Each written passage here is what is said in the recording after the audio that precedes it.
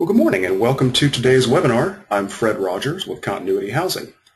Today's presentation covers a synergistic approach to successfully preparing for and managing deployment of your organization's critical personnel, not only to a reliable and comfortable workspace in your failover city, but also to ensure guaranteed housing in comfortable pre-approved hotels.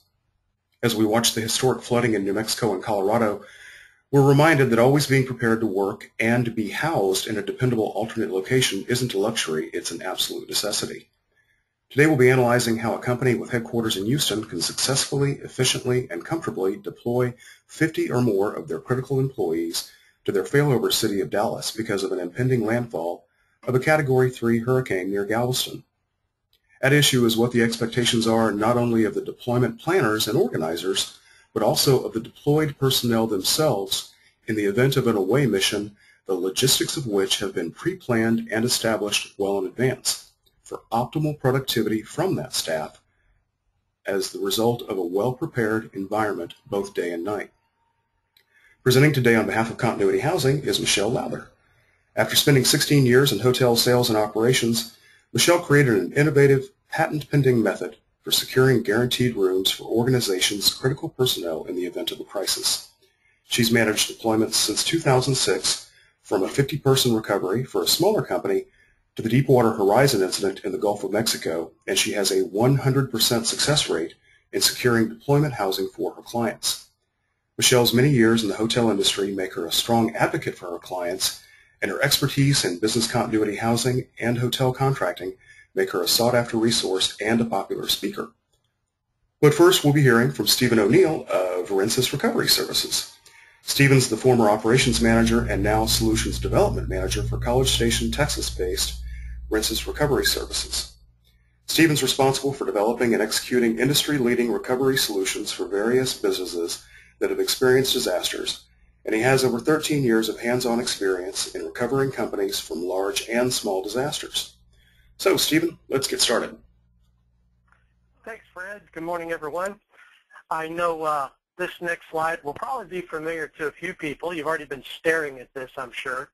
Um, some people have seen the disturbance that's uh, brewing in the Gulf and wondering where it's going to go. And I love this map. Isn't this great? It gives us a great, uh, this isn't even the cone of uncertainty. Uh, I guess it's the, the spider web of uncertainty. They don't know where this thing's going to go or what it'll be.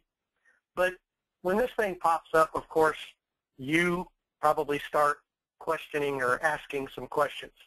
Um, or upper management comes to you and says, okay, where are we going to go? And hopefully you have a plan or you've got some sort of plan. Um, the next question is, you know, what resources will we have available? Um, meaning, are you going to have laptops? Will you have printers? Will you have uh, office supplies? Uh, things like that. When can we get the business back up and running? So our plan is to go to another location. Well, how quickly will things get back up and running? Uh, the CEO wants to know when will he be able to make that call to sales or make that call to the number one customer and say, you're fine, we're okay. And then, of course, the big one is, okay, how can we minimize costs? Now, I know you've probably been trying all year long saying, hey, we need a plan, we need to do this, we need to get something going but upper management may, in some cases, be saying, oh, no, uh, you know, it hardly ever happens, we'll be okay. So, and, and the reason they do that, obviously, is they, they don't want to spend the money. They want to minimize those costs. Uh, um, so is there a solution that can do all of these, minimize that cost, uh, and provide you a key piece, which is flexibility? And there is. But most people, when they have this scenario stare them at them in the face, they say, okay, magically we're going to go to a hotel. And they believe that they'll be able to call up their favorite hotel chain and say, hey, I'm going to bring probably 40 people, and we'd like to use your conference room, and we'd like to, you know, have some rooms available. And there are some hotel pitfalls with that, and Michelle is going to educate you a lot more on those. But from obvious perspective, room availability, a lot of people think, oh, my best buddy Bob, uh, at the hotel. He's a good friend of mine. You know, he's always told me he'll hook us up. But what some people forget is that Bob's job is to be everybody's friend. And when everybody calls Bob wanting rooms, he's got to prioritize. he's got to figure out who is willing to say yes and sign the dotted line and pay for those rooms. Same thing on conference room availability. Um, that's even more precious to them in some cases. Um, we see a lot of people that maybe make their plans around a hotel based upon the meeting space and then try to get the rooms around it, but then sprinkle people throughout various rooms. Um, you know, you can tell people that, hey, our plan is to recover at another city, but what we've seen historically is you might find 50% of those users won't leave. And the other 50% that do show up, um, they're going to bring a lot of things with them. Cats, dogs, kids, parakeets, maybe furniture, valuable stuff, and they're going to say, okay, I'm here to work. Now, what are you going to do with all this stuff? And so is your travel department or your logistics or operations, are they prepared to take on that task? Do they know what they're getting into and do they know what to do? Something that gets missed a lot is bandwidth availability. Uh, when the tornadoes hit Kentucky, um, there were insurance companies that deployed, forward deployed to hotel rooms in the areas to start doing the adjustments and the claims and, and to make sure they could start getting money rolling back into that area. And what they found is they got into these hotel rooms, which there were rooms available, but then everybody in this age of iPads using YouTube to watch television, big bandwidth, there was no availability to do their work because the bandwidth was all used up. So you may get a room in a hotel or you may find a conference room, but do they have enough bandwidth capable to uh, supply all that demand? Uh, backup power may be an issue you need to look at. Obviously, when there's issues going on in the power grid, they might have to pull power from other areas. So does that hotel have backup power? Uh, what kind of power is it? Are they on main lines? How quickly would they be up if they went down? The voice system integration or continuity. Obviously, most hotels do have a telephone system in them, um, but does that system stay up and running? Are their phone lines going to go down just like yours? Maybe if they're out of area, you're probably okay. But then the next question is, will you be able to vector those calls, inbound calls for maybe your customers or your main suppliers?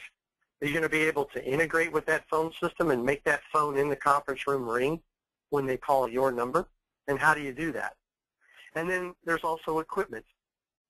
Obviously, most people can remember laptops. However, we saw in Hurricane Sandy, some of them don't. They don't believe that the danger is imminent, so they leave their stuff there. Or they might show up with laptops, but then forget other pieces like power adapters. What about uh, printers, copiers, faxes, all those other things that you might not think are critical but show up. And then, of course, maybe your plan is to go to the hotel and you figure, oh, we'll run to Best Buy and get that equipment. Well, what happens maybe when that equipment breaks or when the CIO's laptop goes up in flames because he used the wrong power adapter? Or maybe the tongs on the power adapter got crisscrossed, short-circuited, and next thing you know, you've got a fire to deal with. That's a key question that not a lot of people understand because maybe they did go to Best Buy early on, maybe they did get some equipment, but now all of a sudden when it breaks, now they're behind the curve because everyone else went there and got equipment. So these are some things that we can solve for people. Um, a key ingredient that we provide is something called Quick Ship. So now you can see the pictures here where people have taken a hotel room and populated it with equipment. They've turned it, turned it into uh, something that was just tables and chairs, and now they have an integrated phone system. They have maybe dual flat panels. Um, they've got printers. They've got toner. They've got office supplies. And all of that can be pulled in at time. So the beauty is you're able to have this equipment on standby ready to go and then when you need it, you can pull the trigger and it can populate. And so a customer who recently had to uh, go to Dallas had to implement this type of solution where they populated, and in this case, they populated a warehouse, their own warehouse, and then had all the equipment there. A lot of times hotels may be able to provide some limited equipment, but a key thing is what about network devices? Um, most conference rooms are not built to put 50 or 100 people in, and therefore they don't have just simple things like network patch cabling. Uh, the cables themselves or the switches and the equipment, the routers to get that through. Um, we can also supply supplementary bandwidth so that maybe that bandwidth at the hotel is saturated, but you can use other means such as satellite to supplement that bandwidth or maybe pull things off like maybe the voice bandwidth and make that separate. Speaking of voice, what about an independent phone system? Something that while you're in transition from the site to the relocation site, those calls are seamlessly going to the people who can answer the call. So you may have a plan to redirect to another facility, but the question is, can those people at that other facility answer the call? Uh, if you have a specialty like Spanish-speaking resources, um, if you vector it to another facility, they're going to be able to help that. So having a voice system that's seamless and allows you to move from one site to another is key. What about an independent office facility with power? You know, we can solve that, and I'll explain where you might be able to fill in a conference room, but again, we go back to that backup power question. We talked about the on-site uh, break fix. You know, using vendors um, can allow you to uh, recover that broken gear, and you don't have to worry about it. The vendor does. So when uh, that laptop doesn't work or that monitor is, is looking funny, it doesn't have the right colors, you can turn to the vendor and have that do that. And then what about simple office supplies? It's amazing how things like sticky notes and pens and paper become real critical and real uh, necessary in times of, of criticality. So what if there isn't a conference room available? What if someone beats you to it? Uh, or what if it's just not big enough? Well, now you can use things such as mobile recovery, you know, mobile trailers that are governed by the rules of DOT that can pull into a, a hotel overhang like this. Um, they need a 30 by 60 foot footprint. Uh, and once they come in, uh, they don't leave any trace that they were ever there. Um, we're not drilling holes in a parking lot. Um, they come self-sustained. They have fuel. They have a generator on board. They have air conditioning. All the network cabling, all of that, as well as all the infrastructure is right there. So identifying maybe where can you put a trailer like this is something that you can think through. But at the same time, it's very flexible in that maybe the hotel, which we'll see in a bit, uh, has a larger parking lot next to it, or a mall, or a church. So it gives you a lot of flexibility to be able to deal with the situation. So when a customer has solutions like this and they have that flexibility, one key component is the communications. So if this mobile does show up, or if they're going to go inside of a conference room, then how do they connect back into their data? How do they get those voice lines to go through? And there's three different ways or ideas or tools that are used. Uh, one is a wired connection. Now this might be a pre-built external wired connection at a facility that has a, an external network connection. Maybe it's fiber typically. It might be a piece of copper, like a Cat6 copper cable. And then it uh, is maybe in a weatherproof box, and we can connect to that. Maybe plan A is we can't get close to the building, so we need to use a wireless point-to-point. -point or maybe it's a regional outage and we have to go to satellite. So we'll talk about the pros and cons of each. In a wired connection, uh, the mobiles come with a 100-foot umbilical on them already so that we can roll up and connect into a wiring closet. So in cases where customers have maybe a small strip center as a backup site where they're replicating data, but they don't have workspace for people to work in, they can actually have a mobile trailer pull up and connect into that. Now they might have a pre-built uh, hitching post like I talked about before, or in cases like you can see here on the right, they might drill a hole through the wall. It's actually bubble wrap stuffed in the hole there. Um, you can prop open doors. Uh, they'll put a security guard there for security. Obviously, it's not perfect, um, but it does what they need to do at time. Now, that works great in the scenario where you can connect directly to it. And there are some hotels where you can. You can go in through a side door and prop a door open and connect into their wiring closet. Or maybe if we're lighting up uh, the building and a mobile's not involved, we can bring in our network devices and put them inside of their wiring closet. So that's always plan A, but there are some scenarios where we can't park the mobile right next to the hotel. Maybe the hotel actually has a problem with that. They don't want that. And they prefer it maybe further back in their parking lot. And that's where you can go to a wireless point-to-point.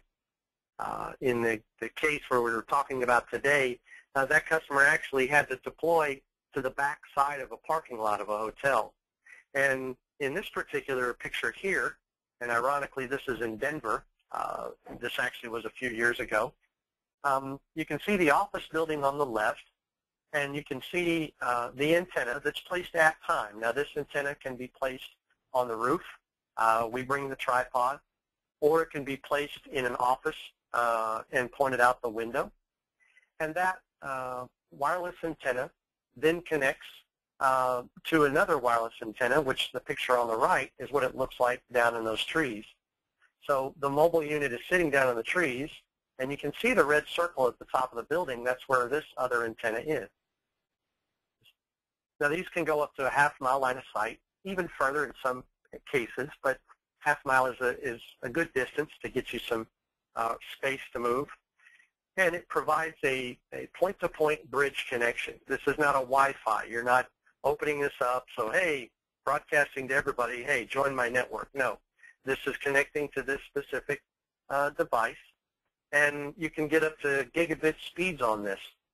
And so now the users, which are in a mobile trailer, can be connected uh, either to the building, either to your hotel, uh, and they will then be feeling, as far as a network is concerned, like they're on that network in the building.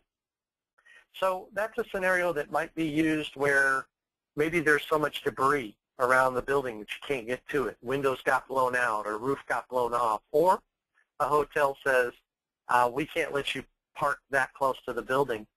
Uh, even for some scenarios, we have actually put one of these wireless antennas on the balcony or even in a hotel room and pointing out the window at the mobile. So you're actually connecting via a hotel room uh, and then into the hotel's infrastructure. So the wired connection and the wireless point-to-point -point are scenarios where you do have connectivity. What if that hotel bandwidth is saturated? Or what if you want to light up another building? How can you get some bandwidth into that, maybe if it's a regional outage? And that's where satellite comes into play. So satellite obviously uh, needs a clear view of the southern sky. Um, whether you're in a, a cornfield in Illinois or a beach in Florida, it's still going to work. Um, it provides a constant connection, so this is hitting uh, geosynchronous satellites in the sky and not moving satellites across the horizon.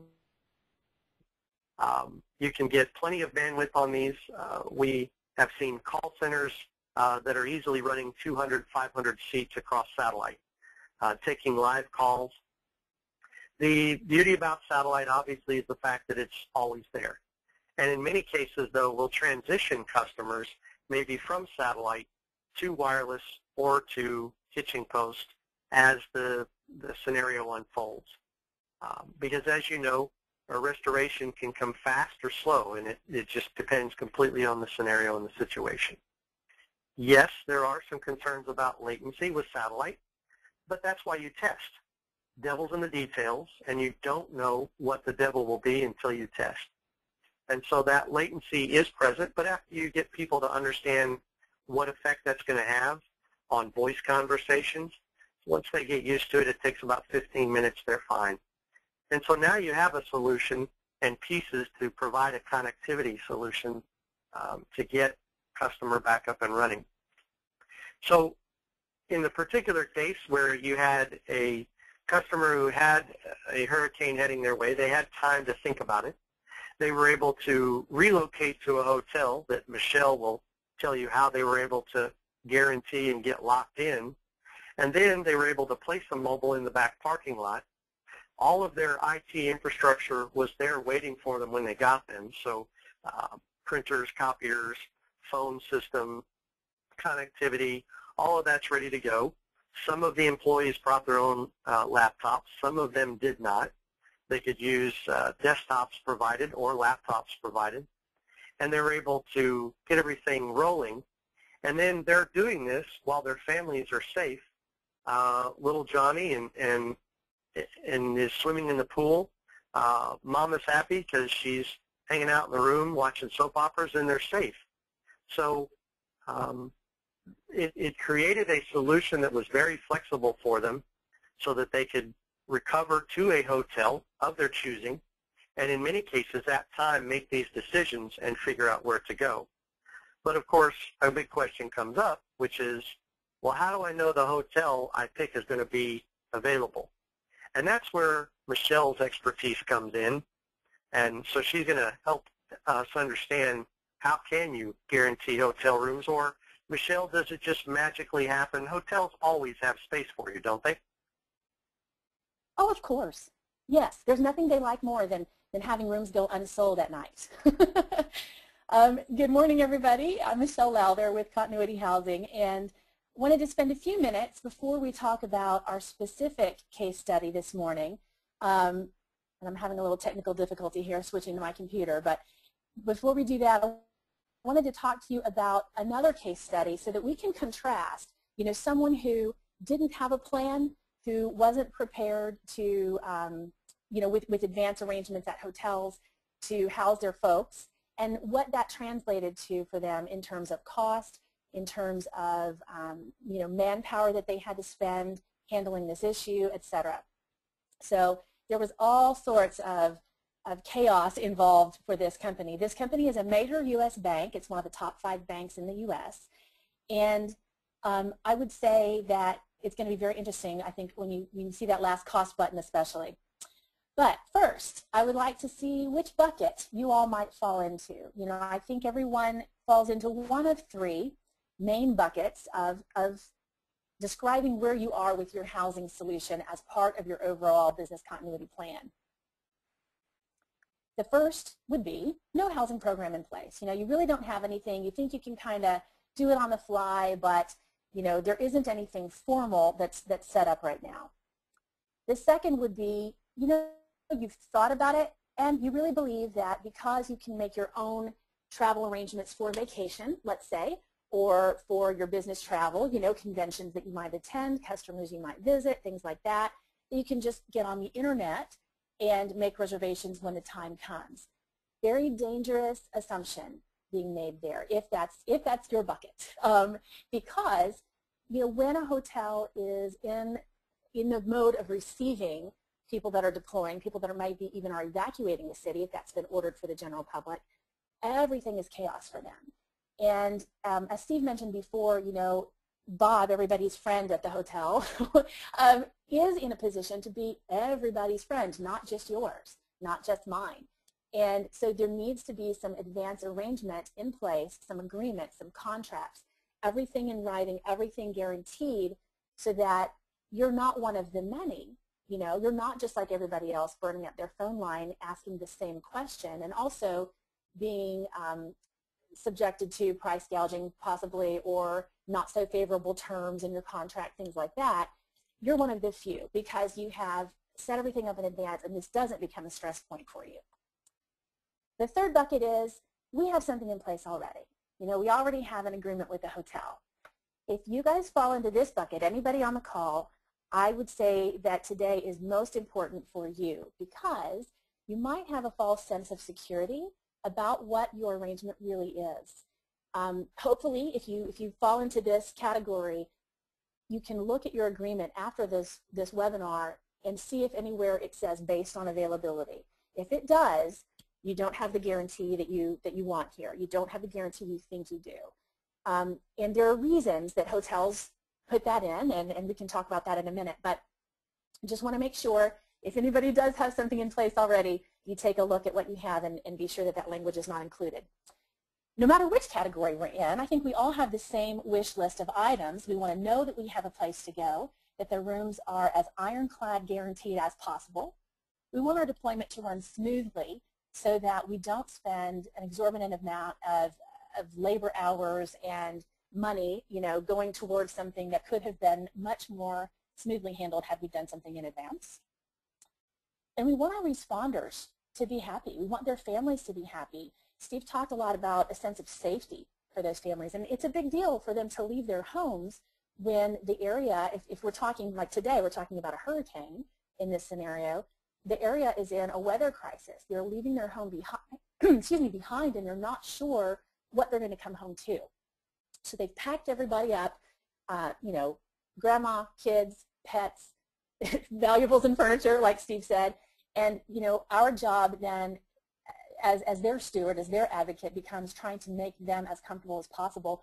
And really the goal of that is twofold. It's not just from a human resource standpoint, but also so they'll get the work done. I mean, those people have been chosen, have volunteered, or have been selected so that their critical job functions can continue. So we want to keep them happy. And of course, we want to contain cost. And the best way to do that is to have it all laid out in advance, um, to negotiate with the hotel before, you know, if you're looking, if you're talking about a seasonal, a weather type event like we are today, before hurricane season even starts, this stuff is long since negotiated. And the reason for that is we're then not uh, one of the many. Like I was saying before, we're not negotiating from a point of weakness when there is a surge in demand. We're negotiating from a point of leverage, from a point of strength, when we're just a promise of possible business for them. And it's a very different picture to paint for the hotels. So for the major U.S. bank, we're talking about the 2008 hurricanes that were pretty much back-to-back, Hurricane Gustav and Hurricane Ike, both, you know, large-scale events, and they did have warning. You know, the, the, I guess, silver lining, I suppose, with a hurricane is you can see it coming for the most part. And yes, they do draw that spider web that Steve showed us earlier, which eventually becomes a cone. But, you know, still, we, we have the time to watch the storm as it moves inland um, or toward the coast and prepare. So what they needed, if something were to hit their area, was 200 rooms, and that included rooms for their actual responders, plus some additional rooms for family members. I think in this case, the, the company could have up to two rooms per employee.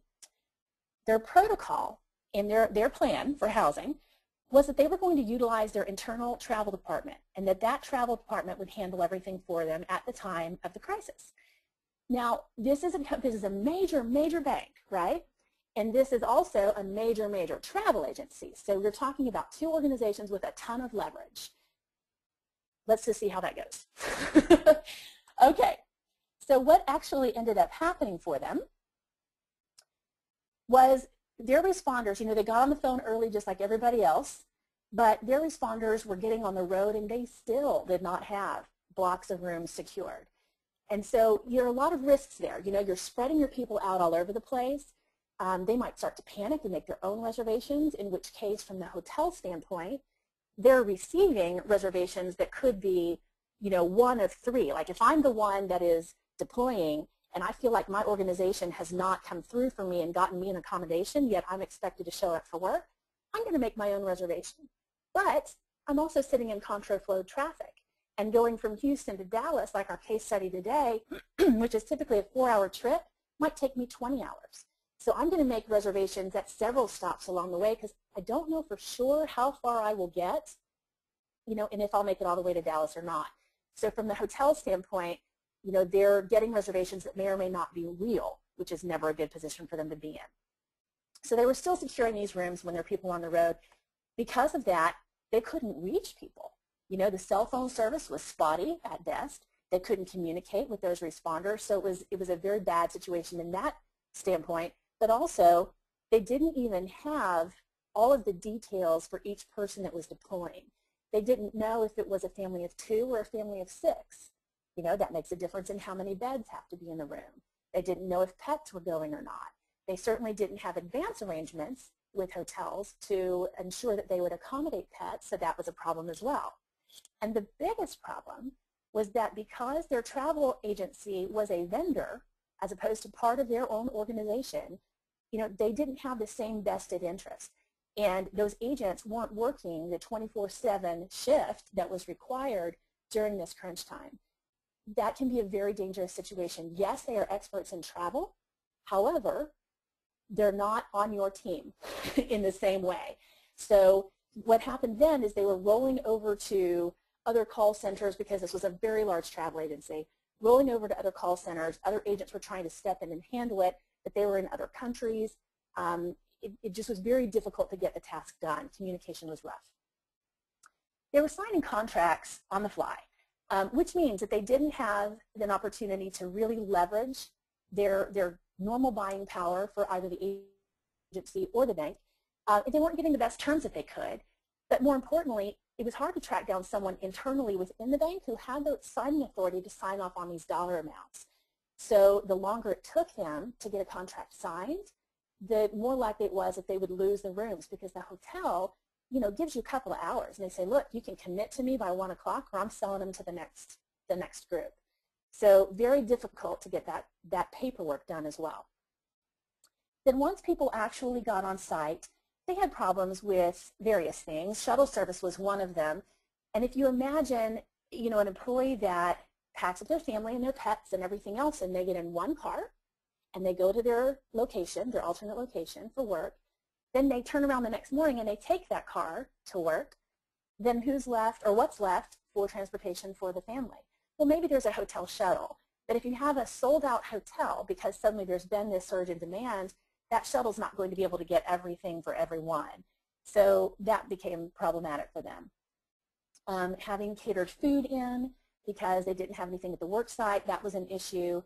Hotels did not know that pets were coming and they were kicking people out because the people were coming with pets. And then because they were kicking people out, they would have to then find another room for that person at another hotel. Um, and then sometimes people would do, make that decision on their own just go to another hotel because their buddy was staying over there. The bank would end up paying twice for the same person at Hotel A and then simultaneously on the same night, Hotel B. So very, very messy when it came to invoices. Um, messy from the standpoint of knowing where your people are and ensuring that they're safe and can get to work, but messy from the standpoint of billing as well. So speaking of billing, let's talk about cost. 12 people, 12 full-time people working for five weeks solid on the two deployments. Now each deployment was about a week, so that gives you an idea. You know, they had an additional three weeks of work on the back end, and, and I would say maybe probably three or four days on the front end before the first storm hit. So five weeks, 12 people, calculate the hours there, calculate the cost internally of that, and the cost of, of the jobs that they normally would be doing not getting done for a full five weeks. That's a lot. They did have to stand up a hotel hotline at the last minute to handle all sorts of employee questions. This can be, you know, where's the closest Walmart? I need some, some baby formula. this can be, I want to take my family to dinner because we're going stir crazy in this hotel. This can be the hotel is charging my credit card erroneously. All sorts of issues happen um, in this kind of a situation. So they, they had to put together a group of people and quickly put a hotline together for employees to, uh, to call into. It cost them over $3 million. My goodness, for two deployments. So, you know, over a two-week period of time, that's, that's exorbitant. Now, it did include their per diem that each employee was allowed for meals um, and other expenses, and it included mileage reimbursement. Everybody drove. Almost everybody drove.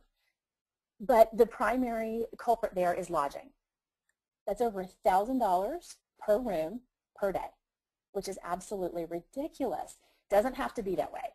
So I wanted to show you this first before we talk about the group um, that, that Steve and I were working on, which left Houston, went to Dallas, much smoother deal. Just to give you a point of contrast in case this is not something that you guys have ever been through before yourselves.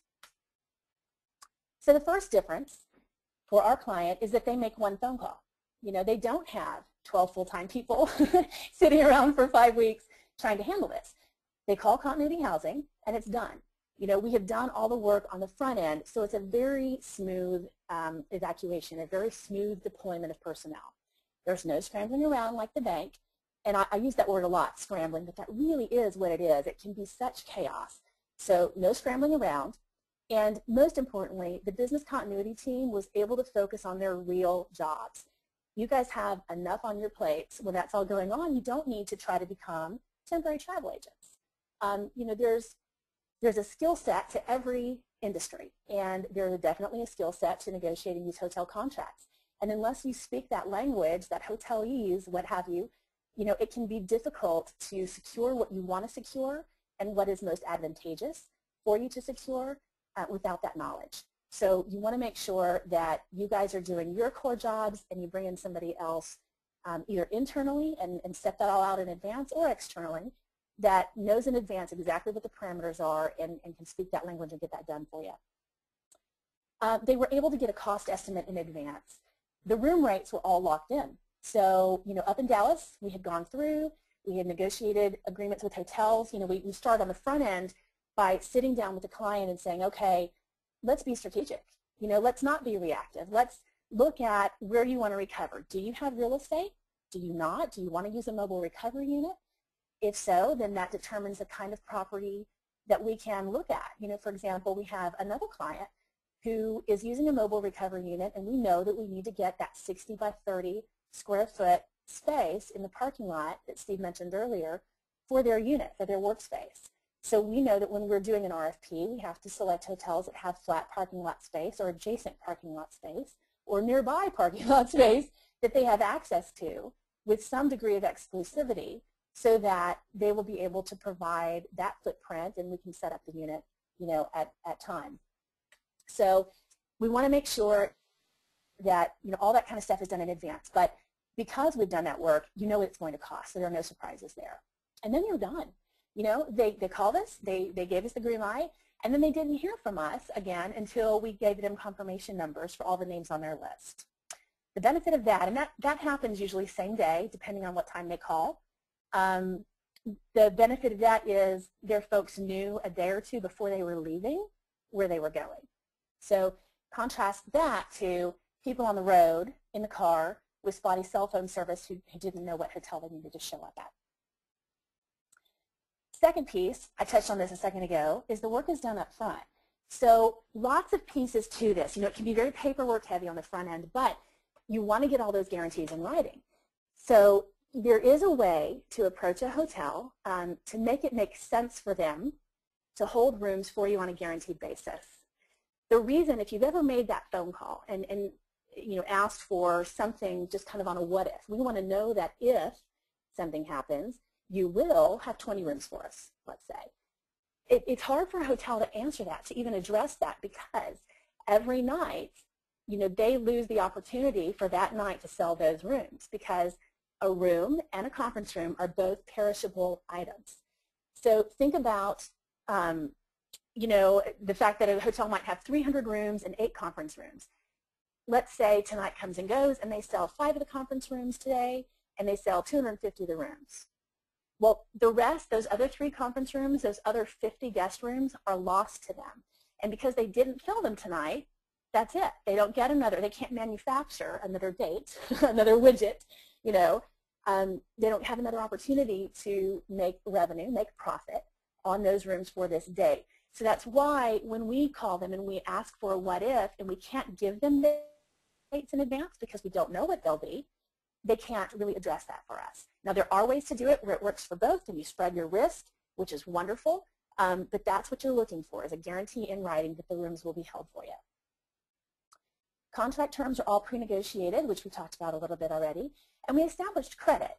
So, you know, that's one thing that can help give you a leg up. If you already have credit established, billing privileges established with a hotel, then that makes you a more attractive piece of business because they vetted you in already as someone who's going to pay the bills, um, which becomes very important when their rooms become even more precious as demand surges during a crisis event. We also inspect the hotels on the front end, and this can be, you know, a variety of, of angles. It can be amenities, it can be general location, it can be, you know, the parking lot surface area itself to make sure the recovery unit will fit, and it can also be safety related. So we do all of that up front, roll it into a report, and give that to you.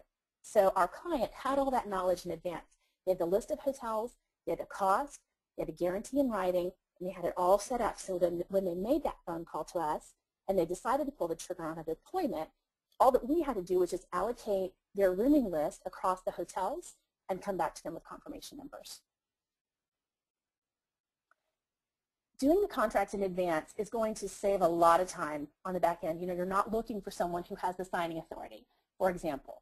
But also, you know, the hotels are, are pretty tough to reach, as I'm sure you can imagine, during that kind of a time period.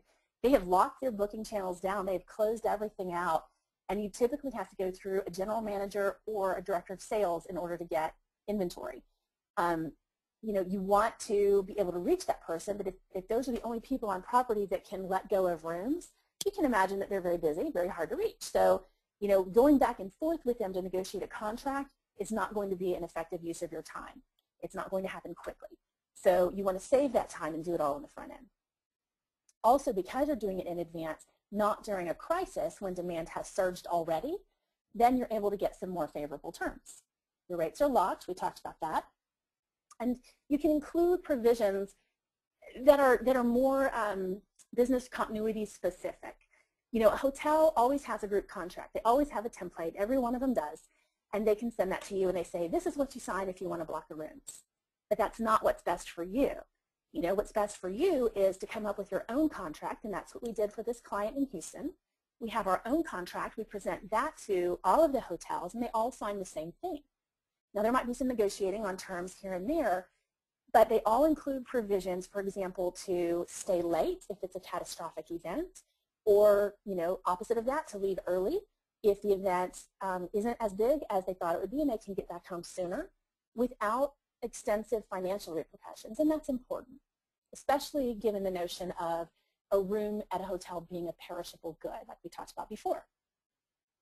You want to be able to negotiate better rates if you do have to extend your stay, and things like that all need to be included up front in writing in your contract.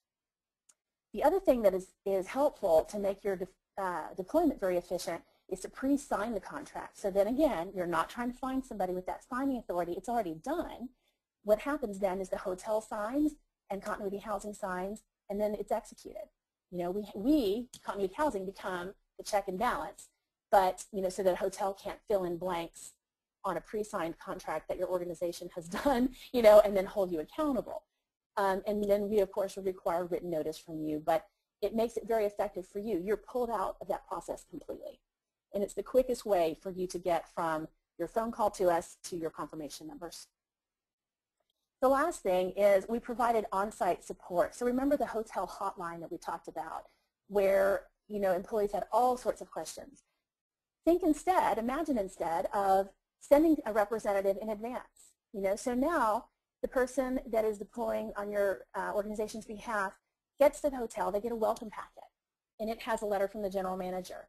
And, you know, they express concern about what the employee is going through, and, you know, they express their commitment to help them in any way possible.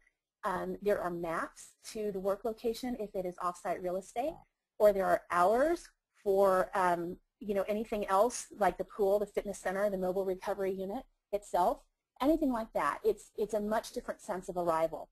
We can also help them with, you know, where they can go to a pharmacy, where they can go to dinner, where they can get supplies for their pets, things like that. Then we also wear another hat where we can troubleshoot hotel issues as they arise, and they always, always do. So we want to be sure that hotels are compliant with the contracts that we have sent them. Um, ours are usually a little more um, rigid than others, certainly than the ones the hotels would provide on their own. So we need somebody there to manage that process. And in managing that process, they'll do a daily audit. You know, who was supposed to be in that hotel last night and who does the hotel actually show was in the hotel last night? And, and are there any discrepancies there? If there are, we come to the client and we say, hey, we're missing this person, and we try to find them and, you know, figure out where they've gone make sure the hotel or the organization, excuse me, isn't paying twice for the same room, things like that. But our client then knew where all their employees were, and that did happen. They, you know, they would flip from one hotel to another for a personal reason. Um, and, you know, that helped them, the company, know where everyone was at all times. It also helped us keep our bills nice and clean. So, you know, there are lots of, lots of little nuances, lots of things that we can't get to in the scope of today's webinar but I think, you know, both Steve and I would have some main points, some main takeaways that we'd want to make sure you guys had at the end of today. So I'm going to turn it back to Steve real quick so that he can talk about his, and then I'll come back to you in just a second. So thanks, Michelle. I hope that cleared up uh, a key question. It's a question I always wondered for many years when people would say, oh, um, I've got a hotel. Okay, and I just knew all of the things that Michelle talked about and, and wondered how are they going to do that. Um, I, I, when I was in the Marine Corps, a drill instructor would always scream at us, uh, You can imagine what that was like. And he would always say, uh, the more you sweat in peace, the less you'll bleed in war. And I always thought that was an interesting phrase to move in and, and transition to our world. And I would say the more you sweat before the disaster, the less your company is going to bleed during the disaster. And the solutions that we're providing today, I think, are, are key to that component. Um, doing all this thing ahead of time, knowing where you're going to go, having something locked in, knowing that your network staff is already familiar with the satellite connectivity, so even though the satellite's getting dropped into a field in Plano, Texas, they're going to be able to connect right back into their infrastructure. So what the, the company realized after they had gotten through the motions and, and doing these contracts beforehand, the hurricane is fairly easy in the sense of you know it's coming. You've got time to plan. And that can be good or bad because uh, in some ways it's good because you're able to call around and get things, but that means everybody else does too. So you've got to be the first ones to the punch and, and make sure you get that hotel locked in unless you're using a solution uh, with continuity housing. But they also realized now that they had a solution that was completely flexible, even like in the West Texas explosion. You can imagine sitting here right now, wherever you are, and all of a sudden, boom, it's you're in it. You're in the disaster at that moment. There was no notification. There was there was nothing. You had no idea that that incident was going to happen. But now that that has already been done and all of that groundwork has been laid, now they know what to do. They know where to go. They know what to expect. They know what they're going to see. So a location to recover the business, they know that. Getting alternate hardware, they know what that's going to be. Where, where's the printer? Where's that stuff? Data access to business applications. They've already done a test and identified that whether they're connected to the hotel via wireless point-to-point -point or with a wired connection or a satellite, they're going to get to their business applications. They know that their inbound customer calls are going to be answered. You know, I see a lot of businesses that will spend a ton of money replicating data somewhere, but then when the disaster hits and you call their toll-free number, all you get is a fast busy signal. That's never good. And then employees and their families are safe. They know they can go and they can work and do what they need to do, and their families are in the hotel. So at 5 o'clock, which they probably won't get done right at 5 in a disaster, but let's hope that, you know, 6, 7 o'clock, you know, they can back off of the work and be with their families and know that they're safe and jump in the pool with them and do that cool stuff with them. Business operational in 48 hours, so now upper management is able to answer uh, their people and their investors and say, yes, we're going to be good to go. And then it's a cost-conscious solution. You're not building a hotel and a recovery site in an off-site location and manning it and worrying about the maintenance and the costs and all that. You've got a solution in your back pocket that's ready to roll. And in that case, when a disaster hits, whether it's immediate like this picture here, um, this was actually a water main line uh, that busted in the middle of a building in their hard copy records room. And so you can imagine how do you how do you deal with that? That's obviously not a hurricane. You didn't see it coming. All you knew is when the first person came to work on Monday morning and he opened the front doors, water covered his ankles. So how do you deal with that? Well, these solutions with Rentsys recovery and continuity housing solve those gaps, solve that problem and get you something. Michelle, I think you've got some good points as well. I do. I have a few. Um, but, you know, I, I want to just capitalize on something that you said. You were talking about flexibility. Um, I think that's the name of the game. You know, there, there are always going to be, everybody on this phone, you guys are probably the last people that need to hear this, but you always need a backup for a backup for a backup, right? And you, there's always going to be something that you wish you would have thought of beforehand. you know, we don't want to be that thing. We'd like that to be something else. Um, but the flexibility in both of these solutions is inherent in the way that the, the products and the programs are designed. And I think that that makes your program much more robust than it would otherwise be, um, especially if we're talking about reacting to a crisis not something that we do have a, a little forewarning about, um, you know, like a hurricane or another weather-related event. The other thing, Steve, that you said was, you know, that there's there's a magical solution. Surely we can just, you know, do such and such. Surely we can just go to a hotel. And, and if nothing else, I hope that today has shown everyone that that isn't the case. You know, we, don't have a lot of time. The, the time that we allowed for the webinar seems like a big chunk of time until we get into details and until we start talking about the what ifs. And there can be so many arms and legs to this. So I hope that that's something that everyone takes away. You know, that there isn't a magical solution and that the key, in, in addition to guaranteeing certain products and services for your organizations, the key really is to have flexibility there. Um, but you do want to have rooms guaranteed by your hotels, obviously, and that is very different than, hey, we'll help you if we can, you know, hey, we'll help you if we have something available. A very different conversation with the hotel. Those two, those two distinguish themselves. Um, to have your hotels inspected according to your criteria in advance, vetted by you in advance. You know, maybe you've even had an opportunity to have a face-to-face. -face. That goes a long way with the hotels. All that's done. To enable your team, your internal team, to focus on their core continuity responsibilities. You know, everybody puts on a different hat when, when crunch time comes. And we want you to be able to fully wear that hat, fully do those responsibilities, and not have to worry about some of these other details.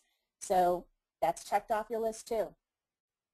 To know and to trust that your responders are safe, um, that you know your, your folks are as content as they can be given the circumstances of being away from home, um, and that they're able to work. They're able to perform those critical job functions, which is the reason that they're there in the first place. Also, you know that you're able to flex based on the scale of the event. You know, is it something that's going to last a long time, or is it something that you're in and out in two days?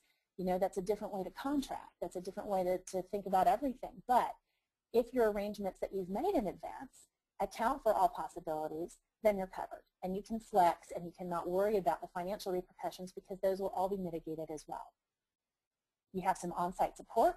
You know the value now of having somebody there to, to manage the human aspect of a deployment, not only for the actual employees, but for their family members as well and you've set something up that is cost effective. You know, where hotels are concerned, you're not guaranteeing a room by buying it every night of hurricane season, you know, which is what hotels want you to do. Instead, you've come up with something that makes sense. You know, you've come up with a way to guarantee that those rooms will be available to you before they're available to anybody else. So, you know, with this list of items, you can trust that you're able to restore your business, you won't have interruptions, and your folks will be safe and happy. I think, um, Fred, you've been collecting maybe some questions during the presentation. Do you have any that you'd like to share with us? Yeah, we've actually got quite a few, but we've run a few minutes over, so let's go through four. Let's go through three or four very quickly. And everybody, if if we don't get to your uh, to your question, we will respond to it later by email. So don't hesitate to ask a question in the uh, the Q and A. Uh, feature in the control panel.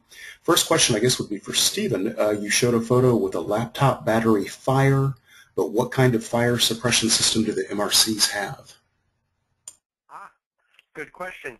Um, they have a standard fire extinguisher in the front and in the rear of the unit, um, and there are four exits.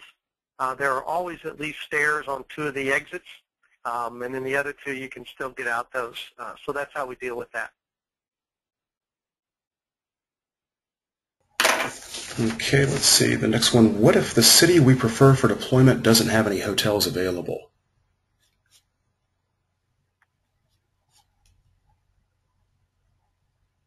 Michelle, I think that's a good well, one for I, you. I'm assuming that's something that you, yeah, I think that's up my alley. Um, I'm assuming that that would be something where you have real estate. Um, without knowing that, it's a little tough for me to answer. Let's say you do have real estate in a location and you want hotels around that location um, the next best thing is to either go in outlying areas, maybe within a 30-minute or a one-hour drive of that location, and then we could provide transportation, chartered transportation on a constant route. Think, um, think convention when you hear that. You know, think of set times where they run a loop among the hotels that are involved, and then get your folks back and forth to work. If it's not something where you have owned real estate, then I would suggest a mobile recovery unit. You know, then we find a market that does have abundant supply, that does have, you know, lots of, of flat surface parking lot hotels where we could put in a Rentsys recovery mobile unit and, uh, and handle it that way. Okay, two more questions. Uh, Steven, what uh, what happens if the city we deploy to already has other companies that Rentsys is managing resources for? How will we know if the backup uh, equipment is not available? Sure, that's a common question in our industry. Um, we've been doing this since 1995. Um, we've been through multiple declarations. Uh, 19, excuse me, 2005 was probably the the toughest year, if you will. There was Hurricanes Katrina, uh, Rita, and Wilma, and we had 43 declarations. Um, we've never, ever in our history, ever told a customer that they couldn't have what was on their contract. And in 2005 specifically, we still maintained the testing schedule up in the Midwest, even though we had resources deployed. So a key to that is our flexibility to provide a bunch of support at time through our parent company called Reynolds and Reynolds. And uh, that allows us to be very flexible, uh, expand as needed, and then when the event's over, we can go right back down. Okay, last question, and as somebody with a restaurant background, this one's kind of near and dear to my heart. It's probably more of a daytime question, so it's more of a, a question for Steven. What about bathrooms and catering? Yeah, so in most cases, um, the facility or in, in many cases the hotel, you know, you can have those bathroom facilities uh, available there.